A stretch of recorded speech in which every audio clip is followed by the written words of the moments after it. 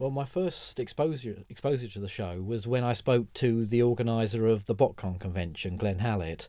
I'd actually not heard of Beast Wars. It was running in the US, but it hadn't made it over to the UK yet. So I just plainly wasn't aware that Transformers had come back at all.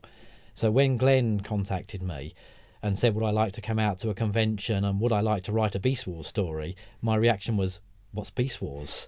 So, you know, it, it took me a while to get up to speed on Beast Wars. Glenn sent me a few tapes of episodes, uh, you know, some character stuff. And so it was a real kind of, oh my God, Transformers is back. And I didn't know. And, and it's connected. You know, the arc's going to be in there. There's Generation 1 references. Unicron appeared. It was like, wow, Transformers is back. And I didn't know. And, and you know so and suddenly i had to write this story there was a little story for the convention comic that year uh, called Tales from the Beast Wars, and the story we came up with was called Ground Zero. And you know, we had to introduce the convention exclusive toys into the existing Beast Wars storyline. So we had this little story where these characters, Pack, Packrat and Fractal, have some interaction with the TV cast, which meant, of course, I had to get to know the TV cast and what the general situation was. So, you know, yeah, it was a bit of a crash course in Beast Wars.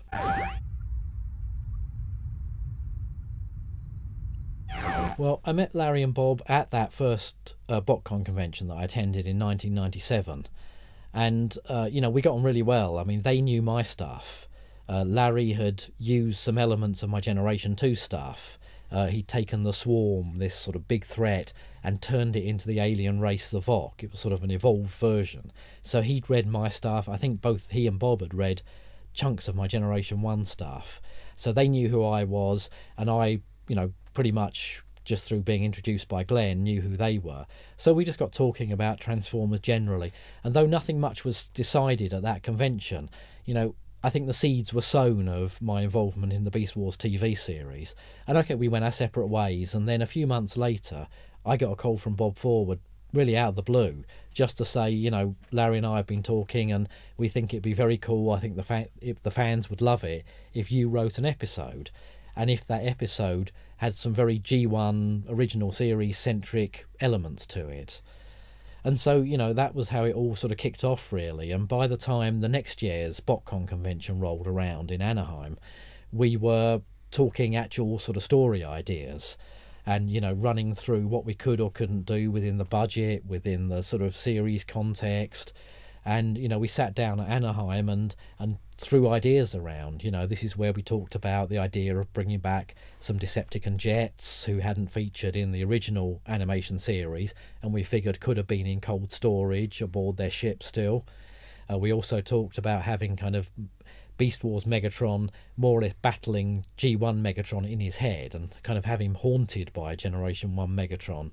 And you know, these ideas went round and round and I went back to the UK, and this evolved further and further, just sort of over many phone calls.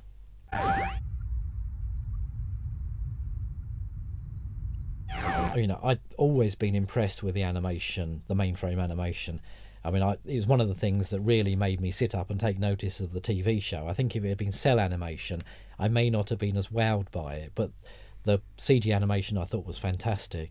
And of course, they'd you know, had lots of time to refine and perfect by the time we got to Nemesis. And I thought the animation was amazing. I mean, for a start, you know, water is notoriously difficult to do in CG animation. And, you know, I thought the scenes on whatever budget they had where the Nemesis rises up out of the ocean and the underwater scenes in part one were brilliantly done. And yeah, I think, you know, I thought the animation was spot on throughout. Everything from that you know, really sort of nice opening scene where the sort of the bug crawls through the drop of water.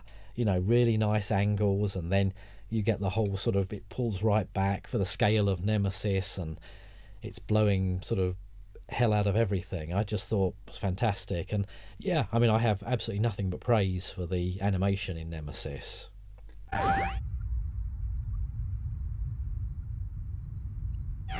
Well, I'd, I'd got to really like Beast Wars. You know, I, the first sort of crash course was a bit like, all I have to do is bring myself up to speed on this. But in the intervening time, I'd seen a lot more of the show. I'd seen Bob Forward's Agenda three parter, which I just thought was cracking television. Forget Transformers. I thought it was great sci fi, brilliantly paced and staged episode. And by that point, I was really into the series. I loved the characters. I love the humour they put into it. I love the the sort of through story arcs that they were developing over the course of the three seasons. You know, things that they'd set up in series one were paying off in series two and three and building and building. And I love that. I, you know, that's my preferred way of storytelling. So I'd kind of got into the whole thing by then. And the idea that I would actually be contributing to this was just a knockout. I mean, at this point, we didn't know that it would be the last episode of season three, and we didn't know that season three would be the last series. So we were just at this point thinking this is going to be a, an episode. This is going to be a, a little fun episode with G1 roots, and the fans are going to love it. But, you know, it was great to be a part of it. And it was also my first bit of TV animation. I'd never written for TV animation before. So it was a learning curve for me as well, and I had to learn pretty fast. And what what was very complimentary from Bob was that my first draft script, he couldn't believe it was the first one I'd done. You know so really you know he gave me some good advice. He said you know it's kind of like a comic script except that you can't have characters just sat around. You know you've got to do all your exposition and storytelling on the go. So you know once i had that kind of rule of thumb it was pretty easy to take my comics work and turn it into tv animation but it was also daunting you know sort of and as it became apparent it was going to be a kind of crucial episode the defining bit of season three and then the defining bit of the whole series, it was like, oh, whoa.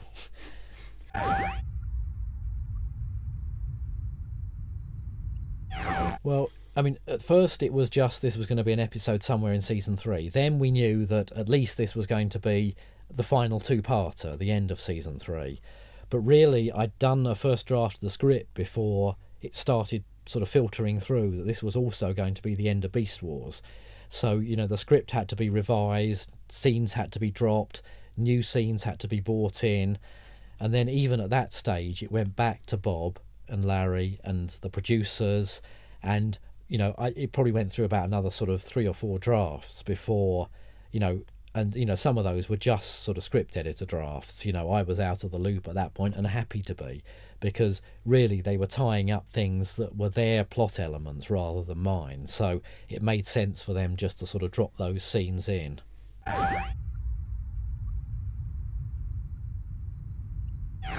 Uh, yeah i mean i really liked Rattrap. I thought Rattrap was a great character you know this sort of perpetually sort of peed off character who just you know is rude and ungrateful and everything else. And I thought he was a good character. I didn't get to do as much with Rattrap as I would have liked because we had a fairly packed episode by that point. But, you know, I mean, I would like to also have done more with Megatron than I got to do. You know, it's fairly, you know, Megatron is shooting things and and fighting with Optimal Prime, Optimus Primal, but so it wasn't really, you know, what I wanted to do with Megatron either. I thought he was great, and I loved David Kaye's voiceover of Megatron, just the sort of you know his little yeses and you know sort of excellence and fan, you know I just thought were fantastic, and I'd love to have done a more Megatron centric episode that wasn't this big kind of cataclysmic conclusion to everything.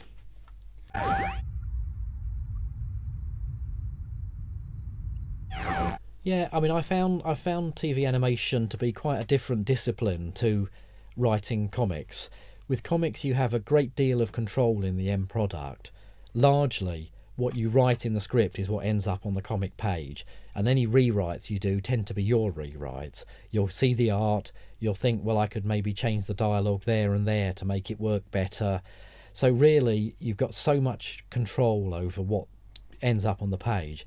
With TV animation work, you have to kind of take a back seat, shelve your ego, and just assume that at some point people are going to change big chunks of it possibly you know because it's it's very much it goes through several stages script editors producers directors. In the case of a licensed product it goes through the the licensor you know the guys who own the toy line or the the product itself. So you have to kind of sit back and just know that it's going to change. And you know sometimes you're pleasantly surprised. You see the episode and you think well hey they kept a whole load of my stuff. When i worked on dan dare in particular that was a real great experience. Lots of my staff made it straight through to the final draft. And, you know, watching the episodes, I thought, well, hey, that really is my staff. But with other things, like when I worked on X Men Evolution, that went through so many levels of people wanting their input that by the time you got to the screen, bits of it were yours, but not much else. So you do have to kind of let it go a bit with TV animation. But I love it. I mean, I you know, it's something I want to do more and more of because it feels, you know, I love my comics work, but I definitely want to pursue other writing avenues, and TV animation seems to fit with me.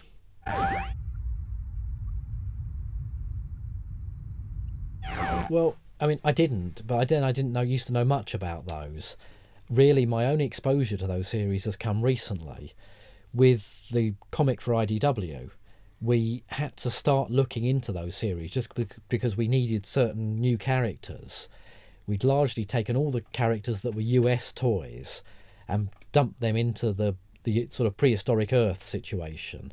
So when we flash back to Cybertron, we needed other characters there. So I was helped considerably by Ben, a guy called Ben Yee, who's also he's the webmaster of a site called BeastWarsTransformers.com, and he's also um, the original script consultant on the animated series. Um, now Ben was great. I mean, I've met Ben at various conventions and we've become good friends. So I sort of used Ben as my slightly unofficial script consultant when it came to well, what characters could we use, who could we use here, and and he was great at saying, well, we can use this character from Beast Wars Neo, this character from Beast Wars the Second, and that sort of evolved again as we started to do a Beast Wars Profiles series. And Hasbro and IDW definitely wanted that to encompass all the series.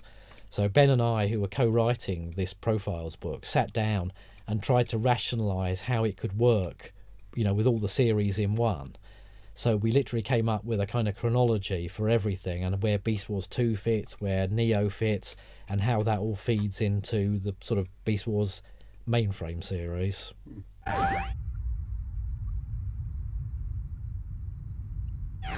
Um, I found IDW a very sort of good, solid company to work for. I mean, you know, they're very passionate about the product. They're really open to new ideas, which is great. You know, when when I when they approached me to do the sort of Generation One book for them, I didn't really didn't want to sort of re- just rehash the Generation One stuff I'd done before. You know, I've done Generation One several times, and I was starting to feel that I was treading over, you know, re- just retreading old ground. But they were you know they were keen on the idea of a complete restart and that sort of really interested me. So they're very you know open to kind of you know in some cases like with beast wars going with the continuity but with infiltration and escalation going outside of the continuity and starting our own one from scratch and bringing making everything a little more contemporary a little more conspiracy theory laden rather than the full on just giant robots fighting on earth and they've let me do infiltration and escalation at a sort of evolving pace, which has been, you know, very refreshing.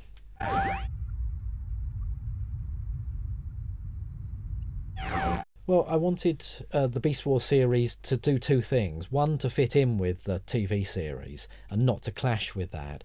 You know, that was all established, and I thought the Beast Wars TV series was a great self-contained complete arc and i didn't want to mess with that i didn't want to say well actually that didn't happen this is the way it happened or anything like that so any comic series i did i decided either had to be set after they leave on the autobot shuttle and go back through the transwarp portal or it had to work somehow in with the tv show so i hit on this idea for the comic that all the new characters who are introduced and who travel back from Cybertron or are, are reawoken on Earth are, are slightly displaced from the action that's going on in the TV series. So, though we see the TV show characters and the action sometimes intersects, largely the two stories are just running parallel to each other without any kind of clash. So, you know, largely the TV cast doesn't know that the comic cast is there, and the comic cast know, but they don't want to tamper with that. So apart from one little scene where comic villain Magmatron actively takes out TV show Megatron, you know, the two don't really cross over at all.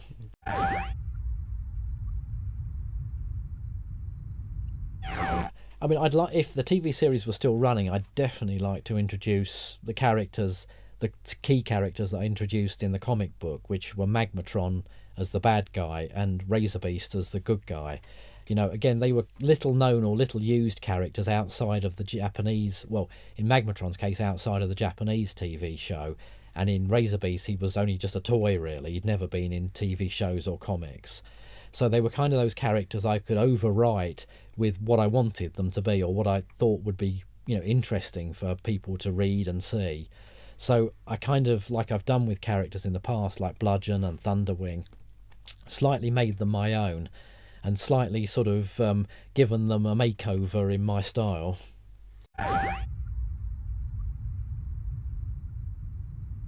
I'd certainly like, you know, particularly with Waspinator. I think Waspinator turns up back in Beast Machines, but we really don't know how he gets back there or what his sort of story is after the the sort of the primitives village where we last see him. So yeah, I definitely like to resolve the Waspinator thing, and there's definitely other characters that we're never quite sure whether they're completely wiped out in the TV show or perhaps they could come back. Certainly, there's characters who in the toys got upgraded into transmetals, but never did in the TV show. And you know, when talking with Ben Yee, we decided definitely you could bring some of those back and say, well, when they fell into the lava, actually they were just sort of knocked out for a while, and when they come back, they're transmetals, and so forth. So, yeah, definitely, I'd like to introduce more of the TV show characters who kind of got left behind.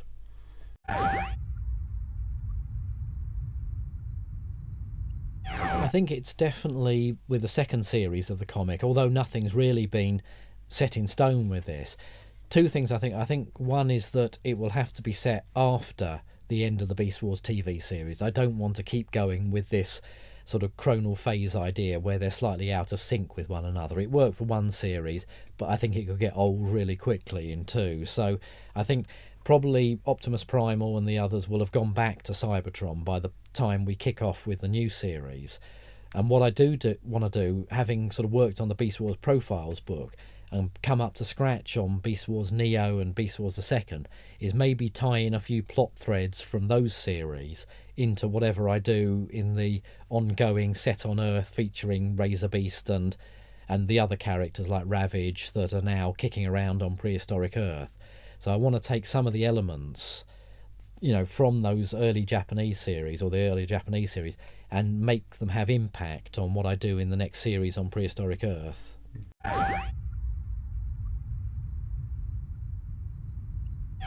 Um, when I'm scripting these days, I tend to prefer full script.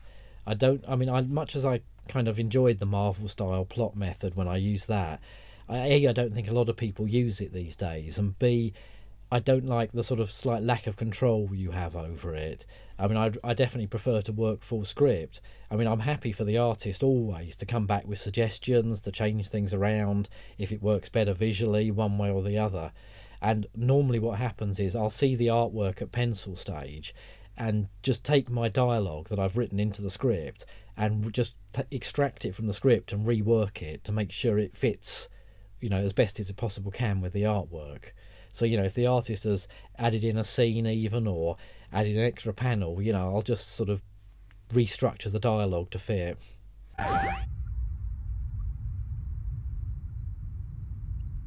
my two artists really I've worked with are EJ Su on Infiltration and Escalation, and Don Figueroa, Don Figueroa on Beast Wars.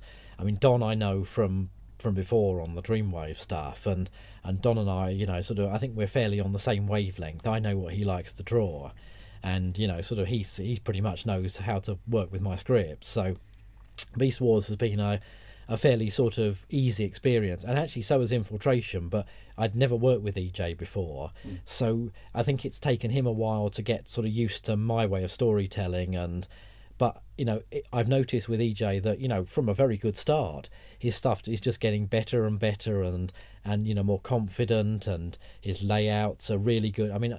You know, much as I love Don's artwork, I actually think EJ's storytelling is is potentially better. You know, his stuff is very clear, very logical and you know you can really sort of see the progression and the story and the storytelling in his work and you know sort of he doesn't have say the flair of don but he certainly has a great sort of straightforward storytelling style, which is really suiting infiltration and escalation. So, you know, although I've, I've still not met EJ, you know, sort of the little communication we have by email and so forth, and occasionally by phone, you know, we just seem to be, you know, clicking now in the same groove.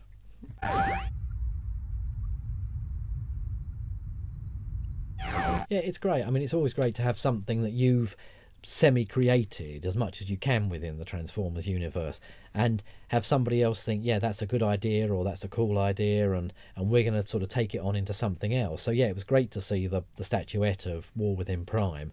And, you know, I made sure I snagged one of those because it just looks very cool and, and they caught Don's sort of design really well, I thought. And, yeah, you know, it's nice that Primus you know, slowly but surely seems to have sort of filtered through everywhere in the Transformers sort of mythos now, and Hasbro are very much on board with it, you know, and it it seems to be sort of fairly established now, which is great because it was always sort of just the comic continuity, but now it seems to be getting out there, and it's great to see it sort of being embraced.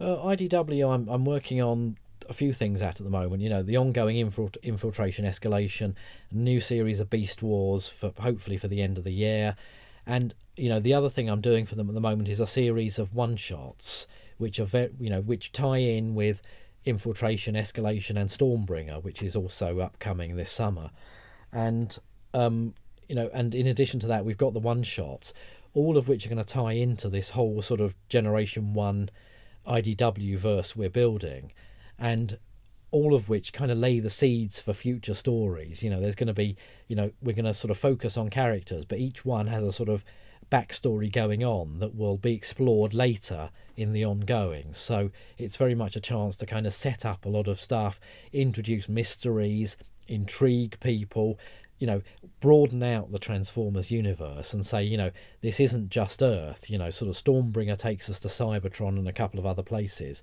and these one shots are very much. Here's here's another fa- facet to the story that we're hinting at here, but you know is going to sort of pay off in the ongoing. So, you know, we've got characters like Shockwave and Nightbeat and Hot Rod, but behind each of these is a sort of backstory that we're going to get back to and you know we'll set up things that will pay off later. So that's kind of fun as well. Mm, seems great. And you know it's nice you know one of the criticisms i guess or one of the things the fans are struggling to warm to with infiltration is the pacing of it which is very much you know evolving as, as a pace you know it's not forcing the pace. It's not bringing a whole lot of characters straight in. It's not opening things up very quickly. It's gradually building and building. But with these one shots they have a whole lot of story in in 22 pages and I think the fans are going to appreciate that. You know, there's going to be a lot more to read, a lot more sort of, you know, substance to the actual single issues. Whereas infiltration, escalation, it's very much, you know, you can see that it's going to be a, a meaty trade paperback, but sometimes in single issues they can be quite fast reads.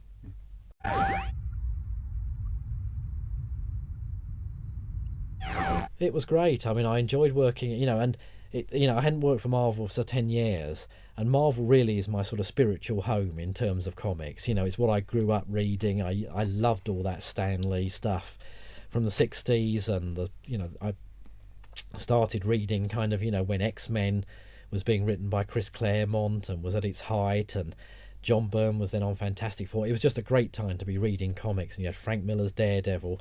So you know, Marvel has all. I've always known the Marvel characters better than I've known the DC characters. So yeah, it was kind of like coming home a bit. And the strange thing was, I got the sort of the the writing gig on Amazing Fantasy, doing Death's Head, which was wonderful, and you know, being Death's Head as well, a chance to do it, even though it was kind of a new character. It was great to sort of you know, great Death's Head again, that feels like mine as well. But it was like sort of, you know, London buses, nothing for ages and then two come at once. So, in addition to Amazing Fantasy, I also picked up the writing gig on Ronan, part of their big Annihilation crossover. Completely independent of the two jobs, it just so happened that pretty much the same time, two editors talked to me about two different projects. So, yeah, it was great. I really enjoyed doing Death's Head, I really enjoyed doing Ronan. And, you know, I really hope that I can kind of build on that and there'll be more Marvel work. I always try and make my characters when they're my characters, actually even when they're you know sort of licensed characters, I always try and put a bit of me into them. You know, I mean it's it with Transformers where they haven't been used very much, like say I don't know Nightbeat. I could kind of impose on him just because he was supposed to be this investigative, curious character. I could kind of impose on him my sort of love of sort of pulp mystery and things like that. So I, I can kind of do that even more when it's a character that I've either created or, you know, I'm creating from the ground up. So with Death's Head, you know, once I saw the original visual for the very original Death's Head from Geoff Senior, I just thought, no, no, this has got to be more than just a throwaway character. At which point I started to give him the mannerisms and the quirks and everything else. Uh, so you know, sort of with the new Death's Head, I was keen to also sort of give him a kind of different stamp as well, but maybe you know just in a kind of you know hinting way tie it into the original as well. And if you look at the very final page of Death's Head 3.0 in Amazing Fantasy, you'll see a kind of visual tie in to Death's Head, the, the original Death's Head.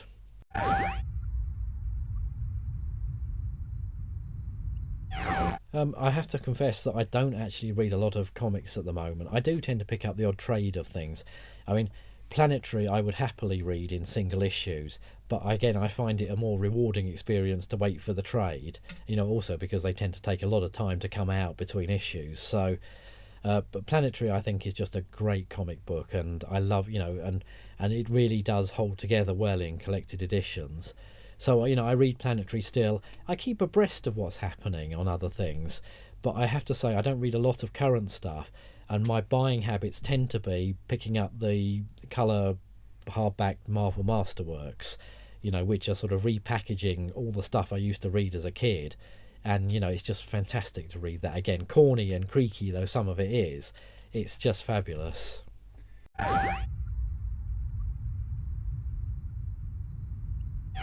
Uh, the animated movie to me was where Transformers kind of changed from being just a sort of licensed product and a job to being something more interesting, more something I could put my own stamp on. The movie, I mean, A, the movie I thought was fantastic. You know, brilliant animation, great breadth of story. You know, it felt epic, it felt, you know, sort of changing the status quo. Characters died, things changed. And I just thought, well, this is brilliant. And the fact that there was this whole future cast that the American series, American comic series, really wasn't using. It meant that we could kind of take those characters, run them in different directions, and not impact on the American series, which the British series was reprinting at the time. You know, we had to be careful to tie the British stories in and not kill off characters, say, that were going to resurface in the American series. But with the movie cast, pretty much we could do what we wanted. And I think that's when it started to sort of get, you know, I started to get that epic feel to Transformers and my writing in general. You know, Target 2006, which people still say is, you know, they think is one of my best stories and I still think holds up well today. You know, was kind of just that, hey, we can do anything. We can go anywhere. We can make this big. We can make it earth shattering. And, you know, and it just went from there, really. And, and yeah, it just sort of changed my whole approach to Transformers.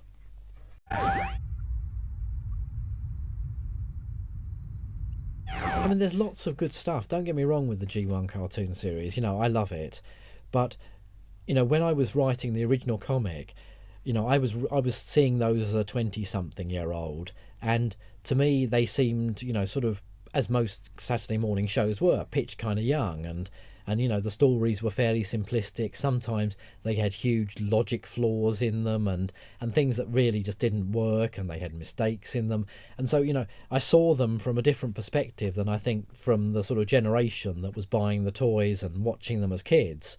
So you know I, I tended to shuffle them aside and and focus very much on doing the comics in a slightly more sort of i don't know i suppose slightly older approach but with hindsight, I've gone back and looked at the cartoon show, and there are just sort of some great episodes in there and some fun episodes. And you know, and as as sort of it sort of got its feet, I thought series two had some really great episodes. You know, I was always slightly averse to the episodes that looked into the sort of backstory of the Transformers in the TV show because it flew in the face of what I was trying to do in the comics. And to sort of to to look at those too much, it might I might have thought, well, hang on, am I doing it all wrong over here? But now I can look at those in a kind of liberated way and just say, no, they were really fun, and you know, I love the sort of ones where they delve back and and you know, sort of they travel back in time, and you start to see the you know the original Alpha Trion, you know the original Optimus Prime, and and I you know I, you can kind of appreciate how they were building much more sort of backstory and mythos of their own into the TV show at the time.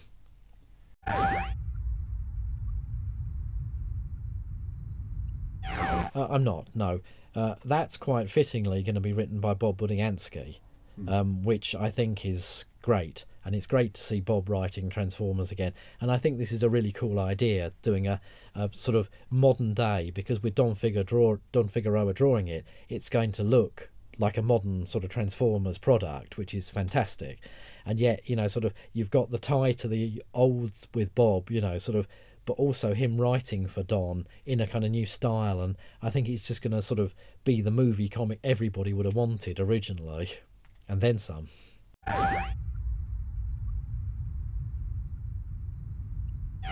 The new movie, um, I haven't really had any sort of direct contact with. I mean, I've talked to uh, Don Murphy and Tom DeSanto, and I've spoken briefly with Lorenzo di Bonaventura, um, but so far that hasn't actually kind of become work on the movie itself. I mean, I'd love to be involved in some way. I don't know whether that's going to happen or not.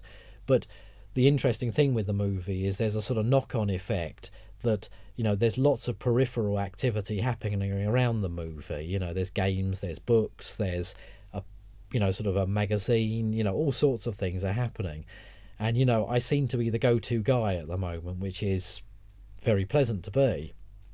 And so the movie activity and it will only be more so as we get into 2007 is sort of generating lots of work for me. So at the moment, I'm flat out. I mean, would I like to be involved in the movie? Absolutely. But, you know, hey, if it's a franchise and we get to movie two, maybe it'll be down the line.